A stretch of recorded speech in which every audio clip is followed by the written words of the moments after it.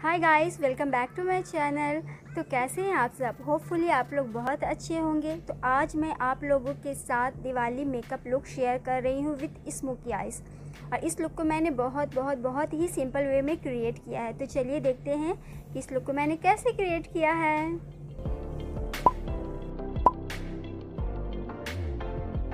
आज मैं video skin care के साथ ही शुरू कर रही हूँ। क्लिनजिंग मैंने कर लिया है, यानी कि फ़ेस वॉश। उसके बाद मैंने गुड वाइप्स का टोनर लिया है और उसको बहुत ही अच्छे से डैप डैप करके टोनर मैं, एक्चुअली मैं स्प्रे नहीं करती हूँ क्योंकि उससे प्रोडक्ट वेस्ट होता है। हैंड से ही मैं अप्लाई करती हूँ। देन मैं यहाँ पे गुड वाइप्स का ही रोज़ हिप सीरम यूज़ कर रही हूँ गाइज़ और उसे ड्रॉप ड्रॉप करके सिर्फ़ तीन ही ड्रॉप लेना है गाइज़ इनफ है। और बहुत बहुत बहुत ही अच्छा सीरम है गाइज़ और मेकअप से पहले तो आप लोगों को ये सीरम को अप्लाई करना ही चाहिए।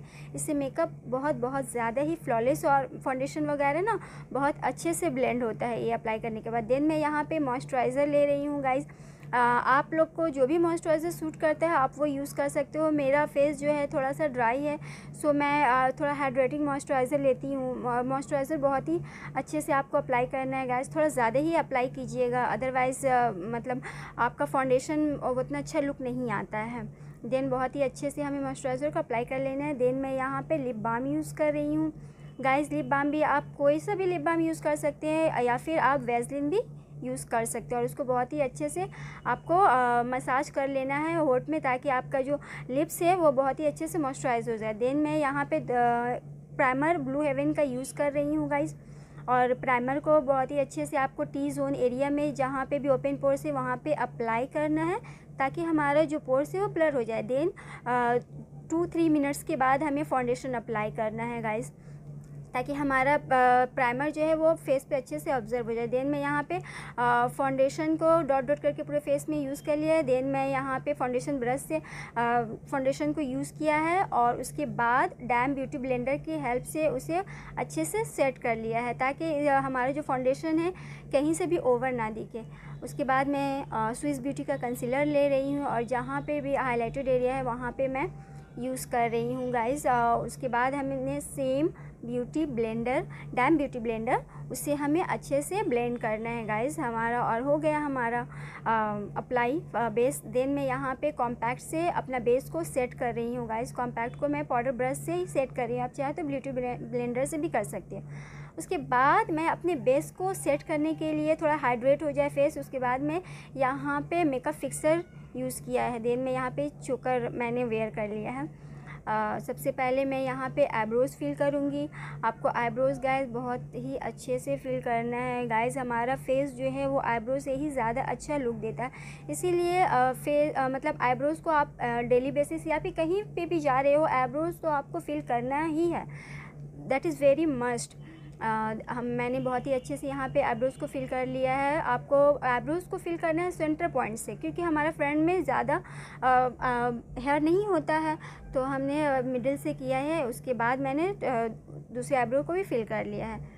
देन मैं यहाँ पे स्मोकी आइज़ क्रिएट करने के लिए मैं स्टेक विरकी का बदाश काजल यूज़ कर रही हूँ गाइस ब्लैक कलर का है। और उसके, उसे सिर्फ़ आपको आई लिट के मिडिल में ही अप्लाई करना है गाइस मोटा आपका जैसे भी हो, टेढ़ा वगैरह, कुछ भी नहीं, क्योंकि ये आईलाइनर नहीं है, इसे हमें ब्लेंड ही करना है।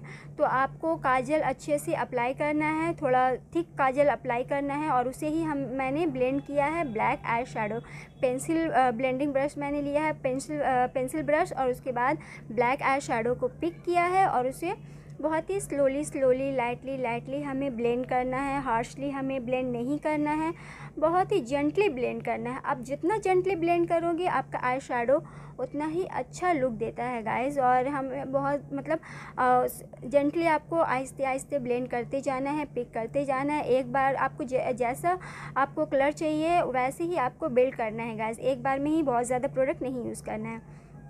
देन यहाँ पे मैंने ब्राउन कलर लिया है गाइस और उसके ब्लैक कलर के जस्ट ऊपर क्रीज एरिया को मैंने डिफ़ाइन किया है गाइस और ब्लैक ब्राउन कलर को भी आपको बहुत ही लाइटली बहुत ही जेंटली आपको ब्लेंड करना है और सेम उसके बाद मैंने सेम ब्लैक कलर पिक किया है और उसके बाद मैंने लोअर लोअर लैश लाइन में उसे अप्लाई किया है गाइस और लोअर लैश लाइन में भी आपको मस्ट है अप्लाई करना, क्योंकि मैंने यहाँ पे स्मोकी आई क्रिएट किया। अगर आप लोअर लैश लाइन में अप्लाई नहीं करेंगे आई शेडो तो बहुत बुरा लगता है और आपका आई शेडो उतना अच्छा उभर के नहीं आता है। देन मैंने वही जो आई शेडो के लिए जो जो कलर मैंने पिक किया है, देन वही ब्राउन कलर का मैंने उसके बाद अप्लाई किया है, लोअर लैश लाइन में भी ब्लैक, देन ब्राउन।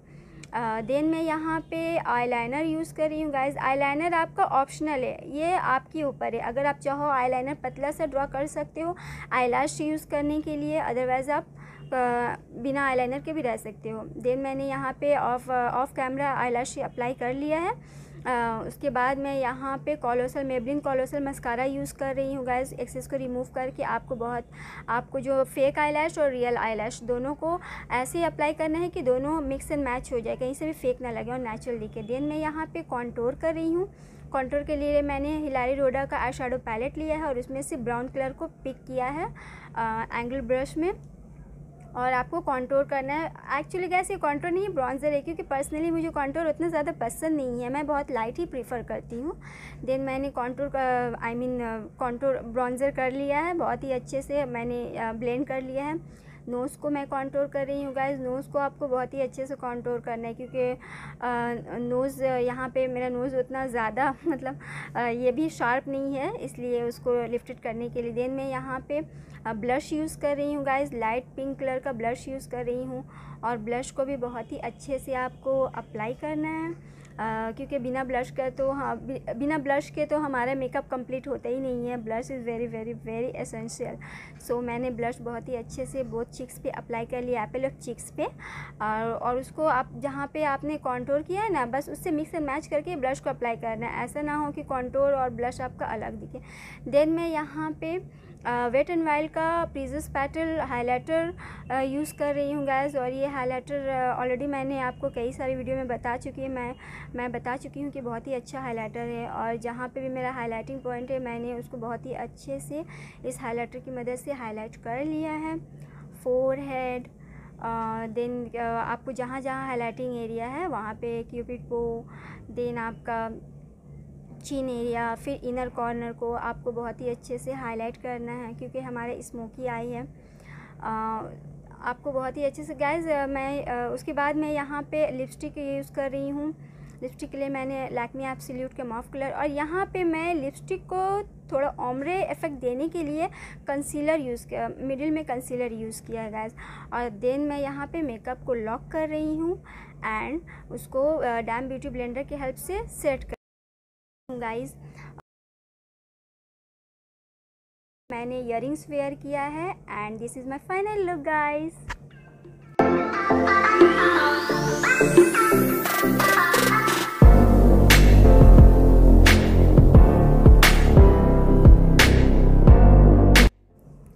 guys कैसा लगा आपको ये दिवाली मेकअप लुक होपफुली आप लोगों को बहुत पसंद आया होगा। देन गाइस अगर आपको वीडियोस थोड़ा थोड़ा थोड़ा भी पसंद आया हो then please please please channel को सब्सक्राइब कर लीजिएगा। गाइस सब्सक्राइब करना बिल्कुल ही मुफ़्त है। And please like the video and comment करना बिल्कुल भी ना भूलना गाइज़ और अगर आपको ये वीडियोस पसंद आया हो देन प्लीज़ प्लीज़ प्लीज़ इसे शेयर भी कर देना। मिलती हूँ आपसे नेक्स्ट वीडियो में। Till then bye bye